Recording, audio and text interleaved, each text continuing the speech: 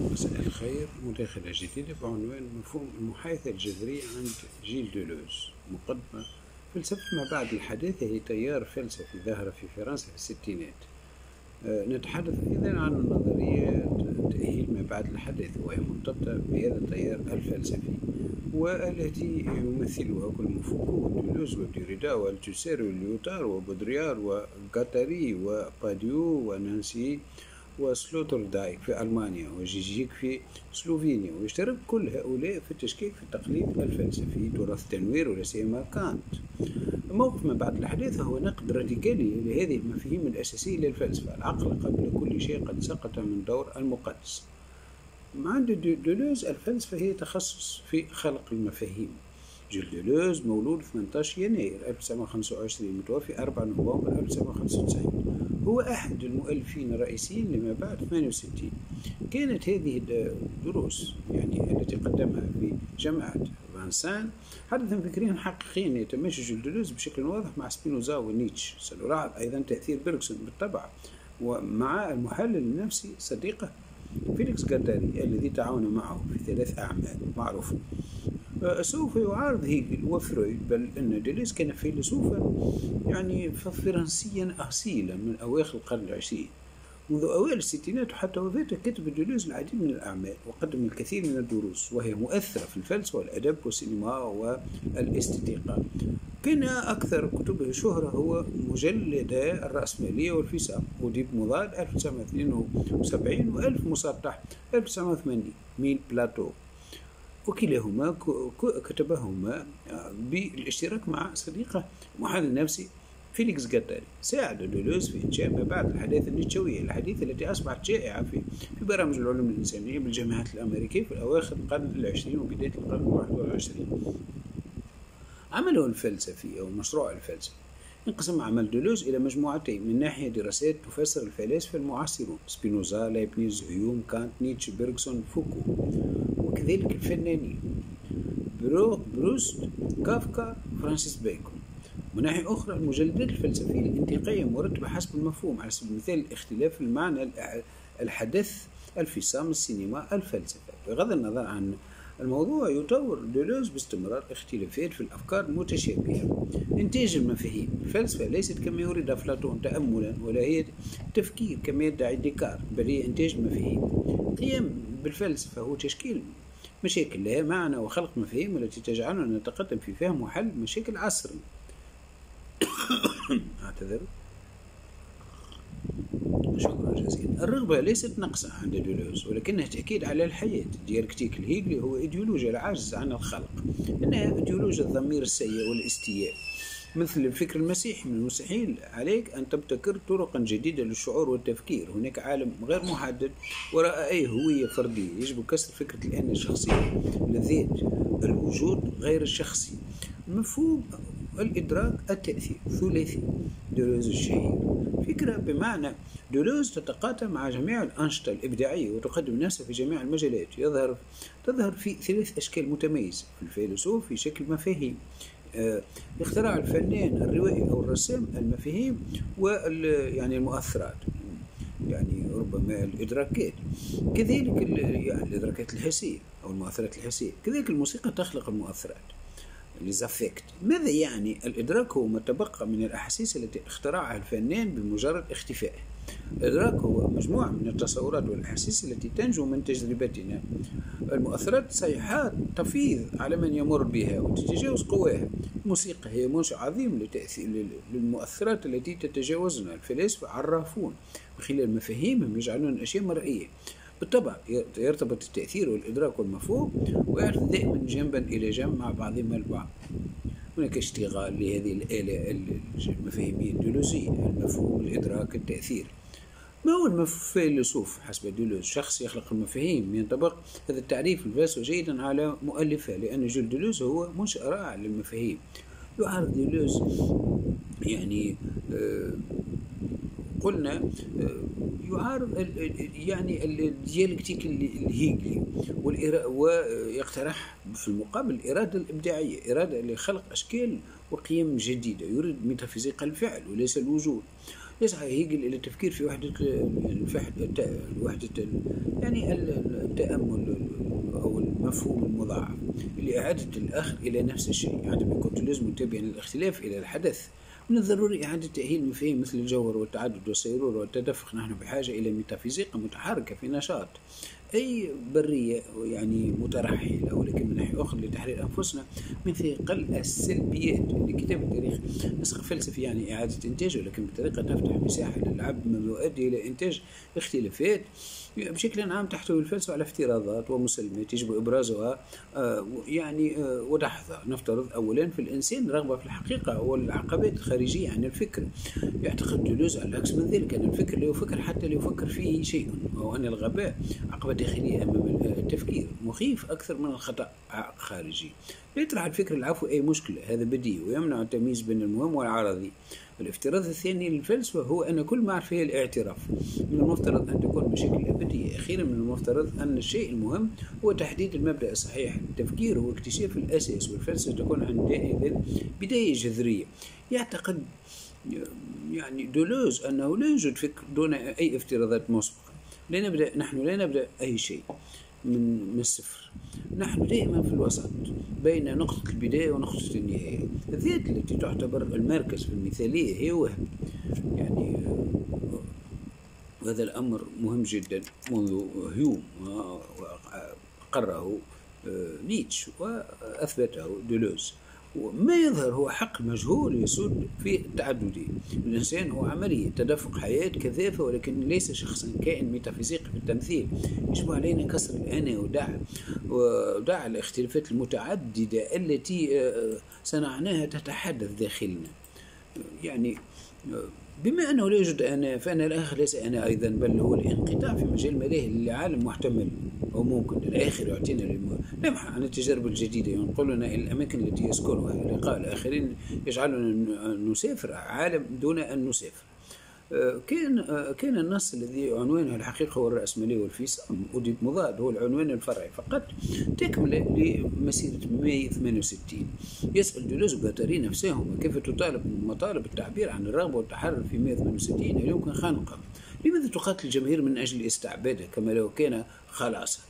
وهو هذا سؤال أكثر من جوهري يعني ربما نطرحها في كل الثورات يعني في كل الحركات الاحتجاجية. لماذا تقاتل الجماهير من أجل إعادة استعباد نفسها؟ يعني ربما نحن في حاجة إلى كثير من التدقيق كثير من المحايثة الجذرية. قلنا يعارض دولوز فرويد الذي يعتقد أنه حصل معنى الرغبة في صراع أوديب الأب الأم الطفل الثالث نحن آلات راغبة كائنات راغبة. أي أن اللاوعي ليس مسرحا بل آلة لها ليس لها وظيفة أخرى غير سوى الإنتاج. تنتج الرغبة كالآلة إن دائما آلة مقترنة بالآخر. على سبيل المثال هي تنتج التدفق آه، يعني الثدي الأم ينتج التدفق وفم الطفل الذي يقطع التدفق لاستهلاك الآلة الراغبة على يعني موضوع مولود من حالة الاستهلاك هو الأنا أشعر أكثر من أنا أعتقد. الجسد بلا أعضاء ينتج ويوقف الرغبة ويسجلها ويصدرها. هذا الإنتاج الراغب هو إنتاج اجتماعي. إنها البنية التحتية الحقيقية أكثر من الإنتاج الاقتصادي الذي طرحه ماركس.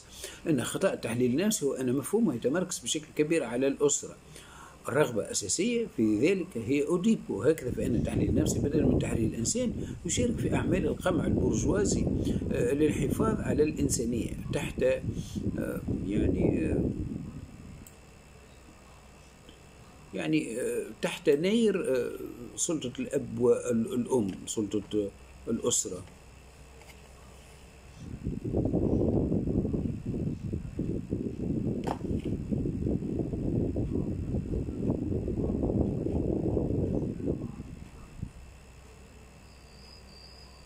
considered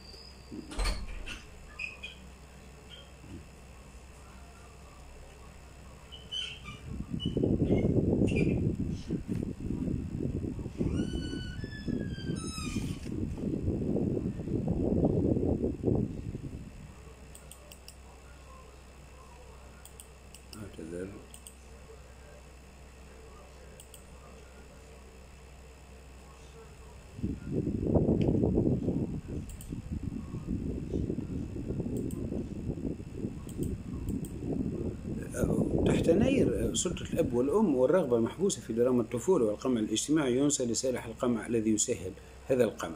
خطأ فرويد هو الحفاظ على تعريف الرغبة على أنها نقص وغياب. هذه النظرية من أفلاطون تصور الرغبة بطريقة سلبية. نحن ما ليس, ما ليس لدينا. رغبة متجذرة لدى فرويد في الممنوع ولا يمكن تحقيقها في الخيال أو الحلم الوهم أو التسامي. بعد ذلك سيحل التحليل النفسي من الدين. ويقتل الرغبة ويشجع الامتناع والاستسلام. دلوز على العكس من ذلك يرى في الرغبة قوة إيجابية وقوة تخريب تخترع معايير جديدة للحياة. هذا المفهوم للرغبة الإبداعية والمتبرع والطاقة الفائضة. يأتي من سبينوزا ومن نيتشه نجد في دولوز نظرية الرأسمالية التاريخ العالمي وتاريخ القمع الاجتماعي للرغبة. الرأسمالية أفظع أشكال الهيمنة الخوف آه، من أن الفردانية التي تروج لها ستولد انفصاما معمما فهي تضع حدودا وتواجه تدفقات الرغبة باختصار قريبة من الاستبداد خاصة من طبيعة الحرب الإنتاج العسكري الذي يربطها بقوى الموت. تنتج الرأسمالية مرضى الانفصام الشخصية. آه، التي سيقوضها في النهاية يعاني الفصام من هذا المجتمع ويشير إلى طرق التحرر. أنه ينظر إلى جسده كجسم دون أعضاء في أعقاب اضطراب مرضي ولكن أيضا بعد اكتشاف قوة. إرادة نيتشه للسلطة وعقل ما قبل أوديبي غير مستعبد لهوية ثابتة فإن الفصام منفتح على كل التجارب الممكنة وغير قادر على القيام بدور اجتماعي محدد متعدد لم يعد لديه هوية الذات ويلعب بتعريفات عابرة مثل نيتشه قليلا قبل أن يغوص في الجنون. يهدف تحليل الانفصام إلى تقييم الإمكانيات الثورية لمرض انفصام الشخصية دولوز لا يؤمن بالثورة العالمية التي من شأنها أن تولد أنواع جديدة من السيادة. إنها بالأحرى مسألة ضمن أن يفكر الناس ويعرفون كيفية العثور على خطوط طيران مجزأة أو لديهم حكمة حكمة البيئة والاستفادة من فجوات النظام. عليك أن تعرف كيف تكون في الأقلية دولوز وقطري.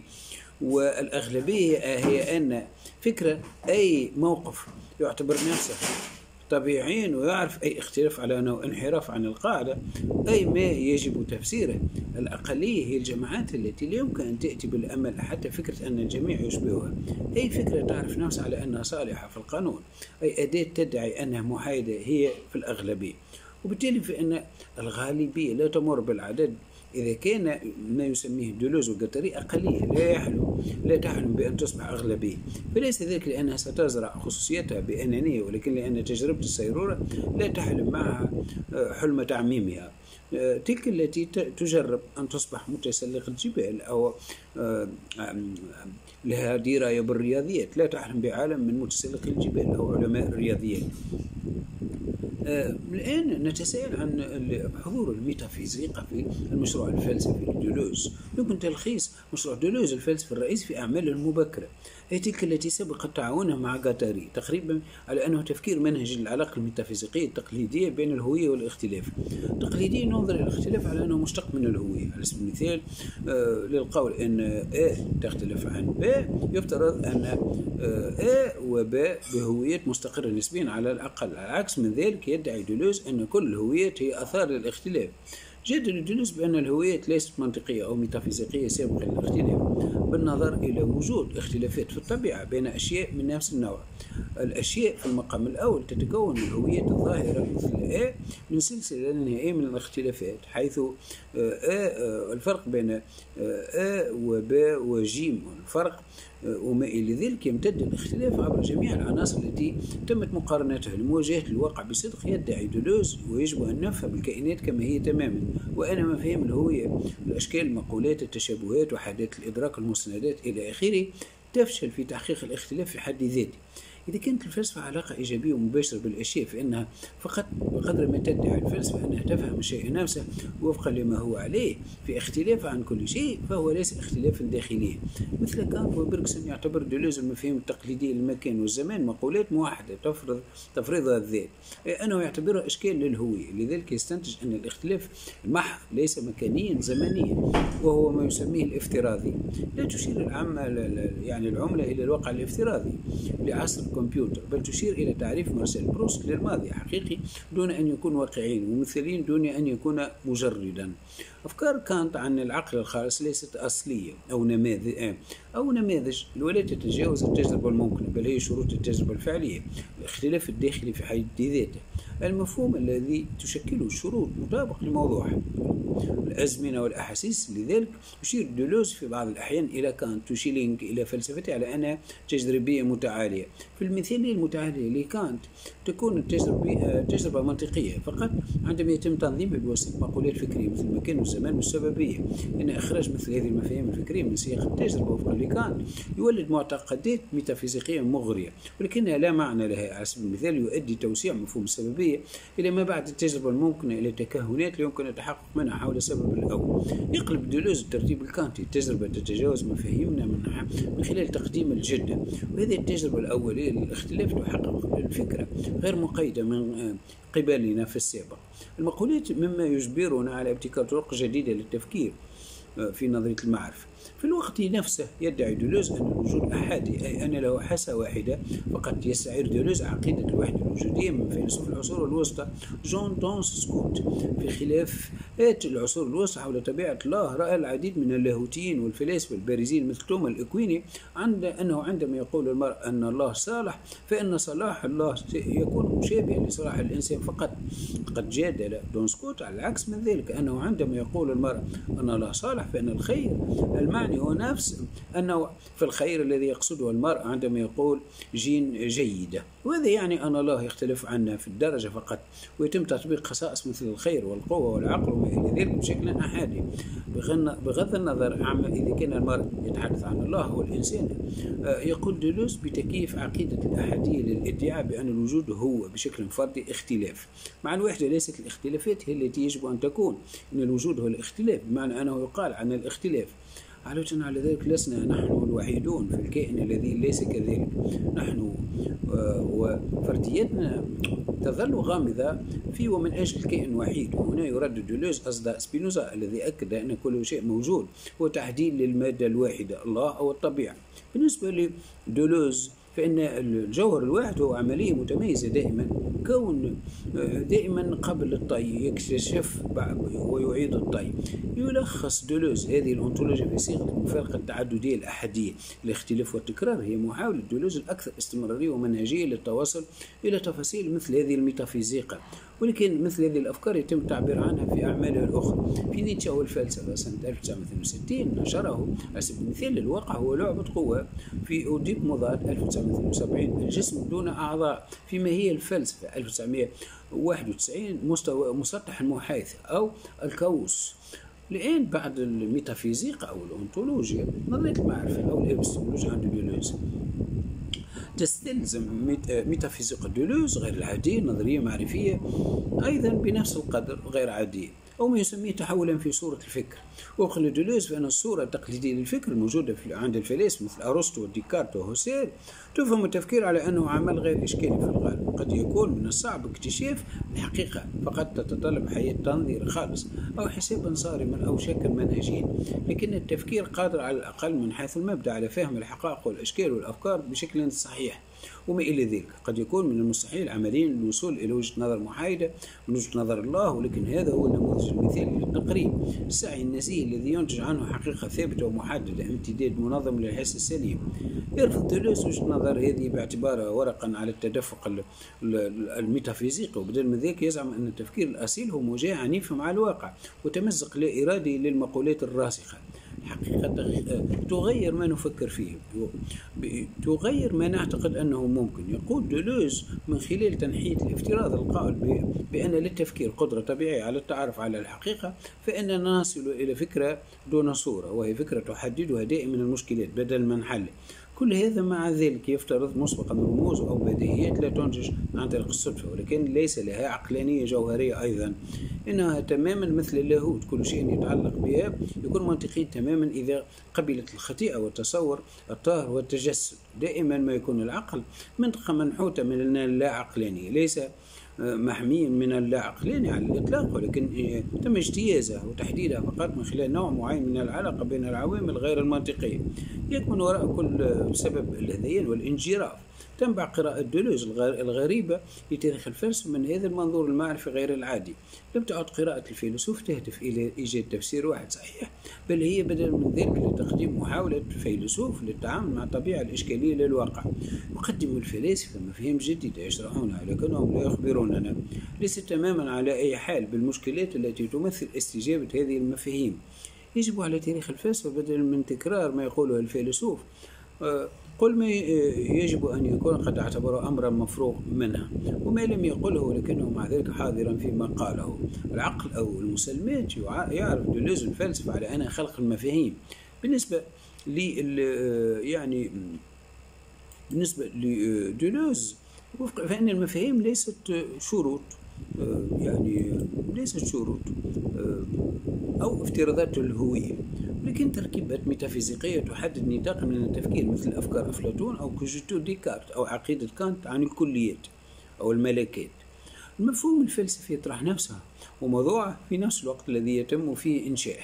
العالم الحالي كما في تقليد لوك أو كواين في, سنة في عمله اللاحق من عام 1981 يميز دولوز بشدة بين الفن والفلسفة والعلوم باعتبارها ثلاث تخصصات متميزة. كل منها يحلل الواقع بطرق مختلفة. بينما تخلق الفلسفة المفاهيم فإن الفنون تخلق مجموعات نوعية جديدة من الإحساس والشعور يسميه ديلوز الإدراك أو التأثير أو المؤثر الإدراكي. تخلق العلوم نظريات كمية مبنية على نقاط نقاط مرجعية ثابتة مثل سرعة الضوء الصفر المطلق التي يسميه ديلوز الوظائف. وفق لدولوز لا يتمتع أي من هذه التخصصات الأولية على بالأولية على الأخرى. فهي طرق مختلفة لتنظيم التدفق الميتافيزيقي. خطوط لحنية منفصلة في تفاعل مستمر مع بعضها البعض. حسب المثال لا يعامل دولوز السينما على أنها فن يمثل واقعا خارجيا ولكن كممارسة وجودية تخلق طرقا مختلفة لتنظيم الحركة والزمن الفلسفة والعلم والفن على قدم المساواة وبشكل أساسي مبدعة وعملية ومن ثم بدل من طرح الأسئلة التقليدية عن الهوية مثل هل هذا صحيح أو ما هو هذا اقترح دوليز أن تكون تحقيقات عملية أو تطبيقية. ماذا تفعل أو كيف تعمل؟ آه، الآن بعد الإبستمولوجيا نظرية المعرفة عند دولوز آه، الصورة الجديدة للفكر ننتقل إلى القسم الثالث القيم أو الأكسيولوجي في الأخلاق والسياسة يردد دولوز أصداء سبينوزا مرة أخرى وإن كان ذلك بمفتاح نيتشه بحدة. آه، في النموذج الليبرالي الكلاسيكي للمجتمع تبدأ الأخلاق من الأفراد.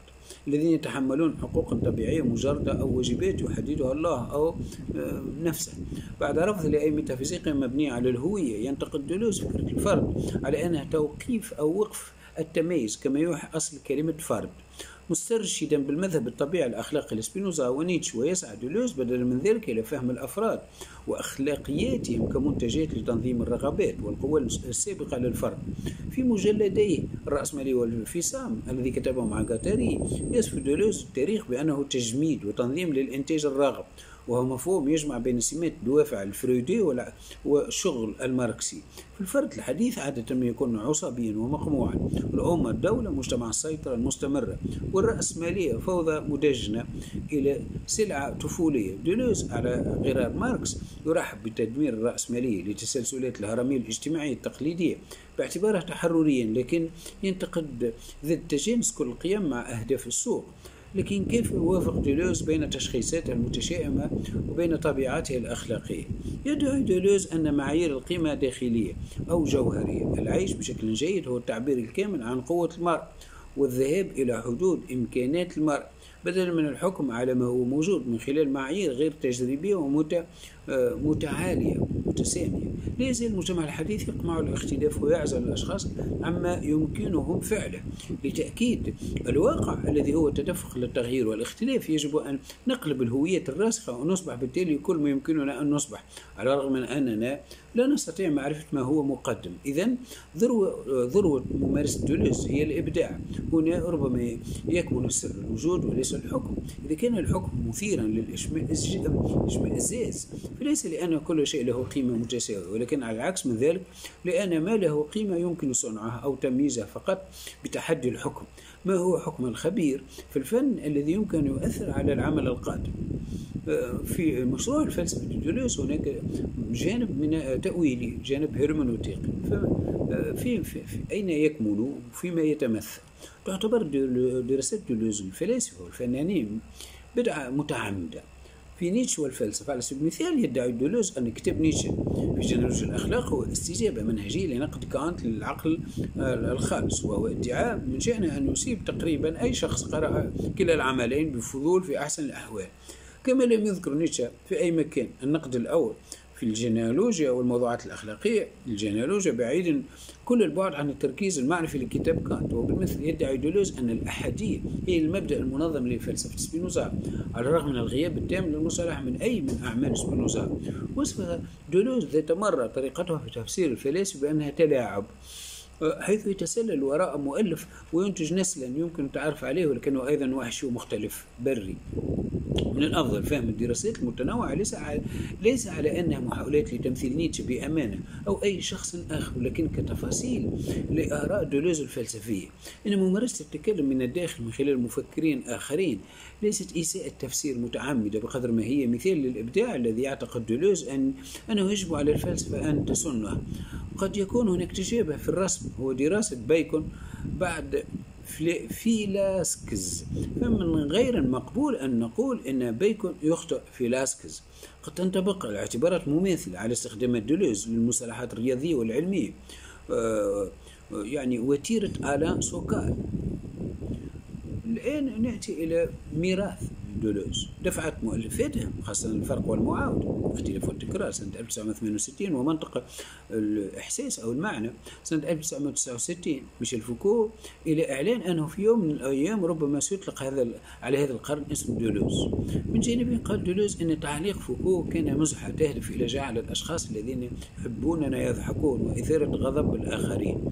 لم تؤدي آه، أفكار دولوز إلى إنشاء مدرسة كما فعل جاك لاكان لكن تعاونه الرئيس مع فيليكس غاتاري في ما الفلسفة وفي آه، أوديب مضاد وفي آه، ألف مسطح كانت الأكثر يعني شهرة والأكثر مقروئية وظلت مذكورة بشكل كبير في الأكاديميات الناطقة باللغة الإنجليزية كموقف فكري ماركس نيتشه دولوز وبعد ذلك استقبل الكتاب الآخرين كتجسيد نظري للروح الفوضوية في ماي 1968 مثل معاصريه فوكو ودريدا وليوتار كان تأثير دولوز محسوسا بقوة في الأقسام العلوم الإنسانية في أمريكا الشمالية لا سيما في الدوائر المرتبطة بالنظرية الأدبية.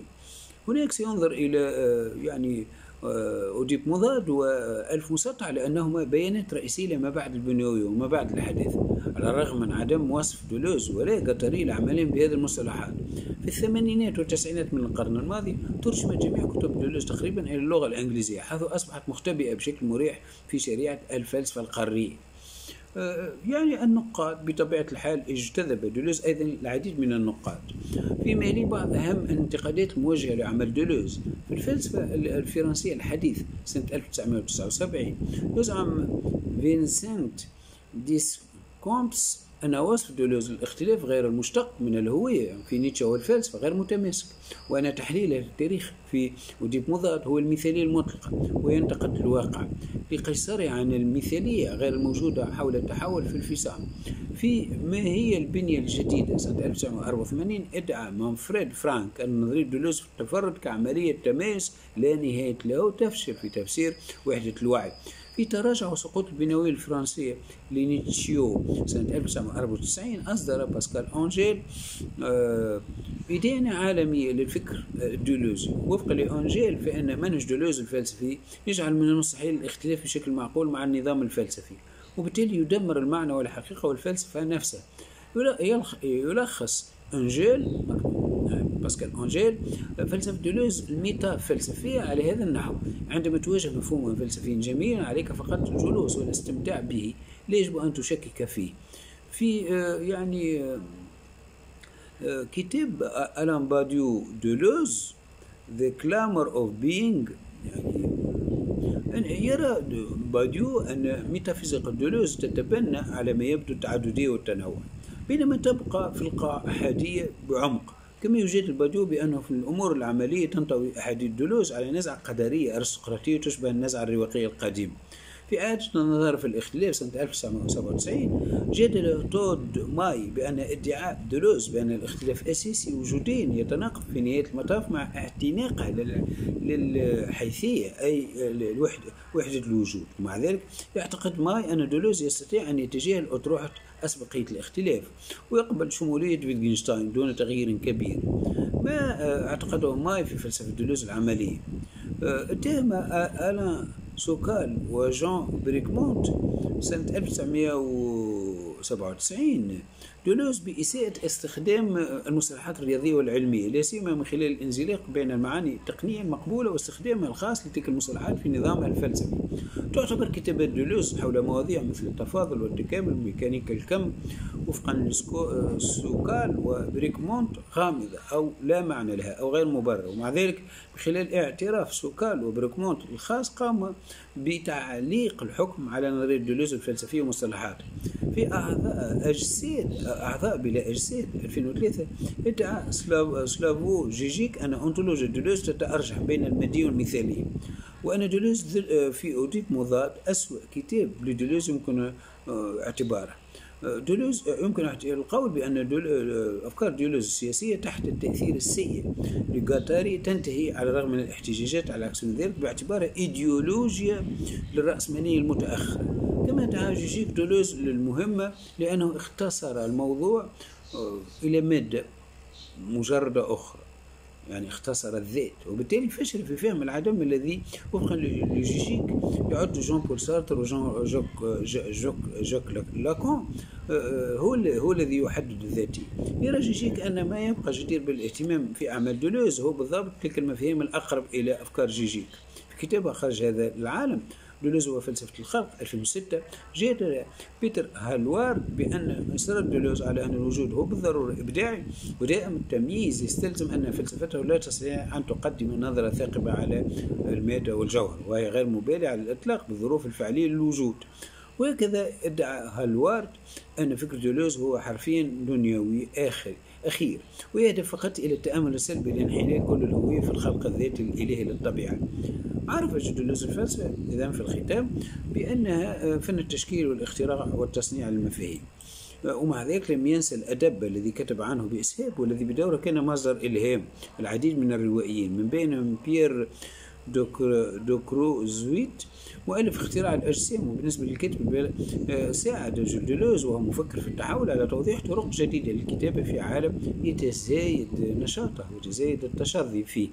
يقدم لنا العالم العمل الدولوزي في أكثر أشكاله الأدبية ويشرح لماذا الجذمور آه الجذمور الرزوم المفهوم الأساسي للفيلسوف هو حسب رأيه تفكير قوي للقرن الحادي والعشرين. الأفكار يعني المؤلفات الرئيسية لدولوز هي التجريبية والذاتية 1953 ثم نيتشه والفلسفة 1962 دروس حول نيتشه أيضا. والفلسفة النقدية لكانت 1963 وتقديم أو عرض ساجر مازوخ 1967 سبينوزا ومشكلة التعبير 1968 المفارقة والتكرار أو المعاودة ألف الغير والمعاودة. نعم 1968 ومنطق الإحساس أو ربما 1969 ثم يعني الرأسمالية والفصام بالتعاون مع قطرية الجزء الأول أوتي مضاد 1962 والجزء الثاني 1000 سطح أو 1000 مسطح 1980 ثم الثانية 1988 وأخيرا كتابه الأهم مع فيليس قطري الذي نشره سنة 1991 ما الفلسفة؟ شكرا جزيلا على حسن الانتباه. أرجو أن تكون هذه المداخلة قد أفادتكم. إلى اللقاء في مداخلة ديليزية قادمة. إن شاء الله.